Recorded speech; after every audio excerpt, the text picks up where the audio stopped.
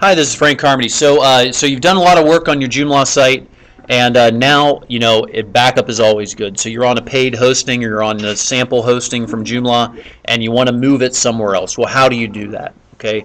Well, how you do that is you back up your site using Akeeba Backup. Okay. Akeeba Backup's the like the number one way to back up your site. Okay. So let's go ahead over. We're in the Joomla extensions directory. We're going to download Akeeba Backup. I'm not sure what what company Akeeba is, but Akeeba has, seems to have a good relationship with Joomla. So we're going to go down to this uh, Akeeba backup. Just the top version is good. Take me to the downloads for this version. Uh, and they have a lot of great extensions, uh, Akeeba does. So uh, download backup core. We're going to download that. Okay, we're going to save that file. Notice it's a component. Okay, we're going to go back into our administrator site and we're going to go to Extensions, Extension Manager. And we're going to go Browse and we're going to go com Akeeba, right? And we're going to upload and install.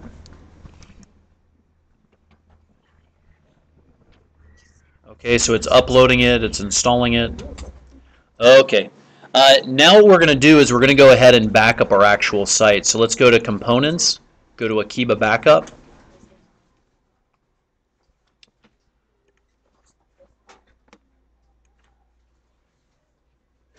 Okay. Okay, so we have to actually click all these things.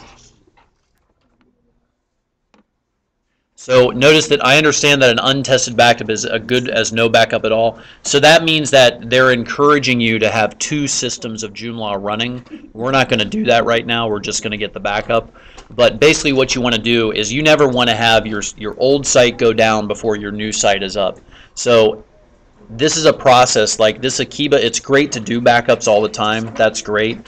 The web services provider, the hosting provider, is going to be backing up your site anyways. So if something was to go wrong on their end, that's the great thing about hosted web services, about not having your own box that you're running off of. You have some, you know, that fee is some professional backing up your stuff, is making sure the web server's running. So in this case, uh, this is really a case where you're moving from one hosting service to another. So you want to have your old site running, your new site running. In the new site, you do Joomla 3, whatever. You install Akeeba Backup there. So you have Akeeba Backup and Joomla running on two servers. So this is at we're at our old server right now. Um,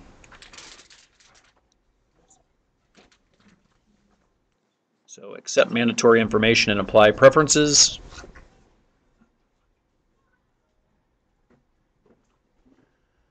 And a lot of stuff can go wrong because we're on shared hosting. So, um, so let's see how it does here.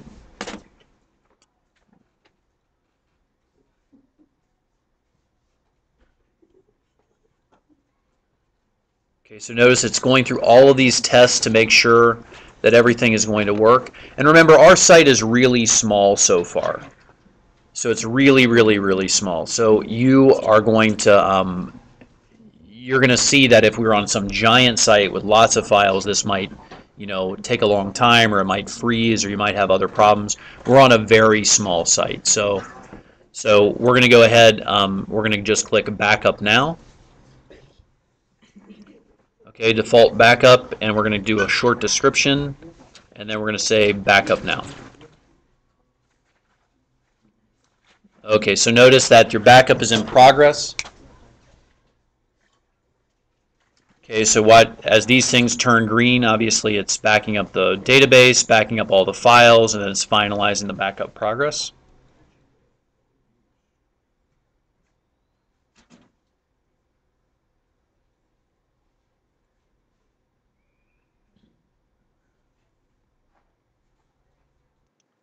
Okay, so now remember, it's it's it's basically getting everything inside the Joomla system. So it's an all-in-one backup, basically. So what this results in is a file that has your all your database, all your files, everything in one place, which is which is really really useful. If you can imagine your alternative to backing this up, I mean the alternative is that you go in on a um, with a FTP or SFTP and uh, you actually pull down all of your files over FTP, which can, which can take a while, and then you run backups um, using phpMyAdmin uh, to back up the SQL, a giant SQL query that would back up your databases. So uh, this Akeeba backup saves a lot of time.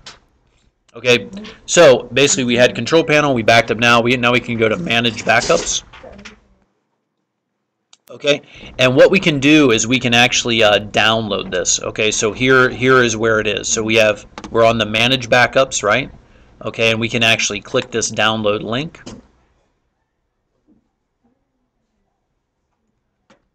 Okay, and that was mainly for large files. We're only downloading 12.8 megabytes, so that's fine. Okay, so notice that, uh, so now I have a completely downloaded backup. This .jpa file is the backup, okay? And we could come in and we could actually go in this manage backups as well. We can go into uh,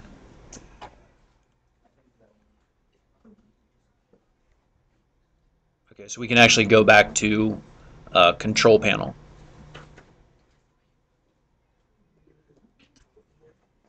Okay. All right, so you can also go in and um, and kind of test out these things, um, and uh, you know, kind of play around with this Akeeba backup. Okay, so um, so we have our we have our Akeeba backup here. So we have our file. Now, if we want to move to our new server, and we're not going to cover this right now, we are only covering the backup portion. You go back to Akeeba, and on your new server, basically you'd FTP in. You'd uh, you'd install this Akeeba Kickstart. Okay, so we're on this Akeeba backup site. You'd ins install Akeeba Kickstart, and then you would use go through this Kickstart process. Basically, it's just a set of files you upload you go to a, a, a, PHP page on your new server once you know your the files are uploaded onto the server, and this Kickstart is a is a what you you know is just a, a web interface for you to upload, and it extracts everything and installs it on your new server. Uh, okay, so that's it. So now we have a way to back up our website and move it to our new server. Good luck. Go ahead and make your backup.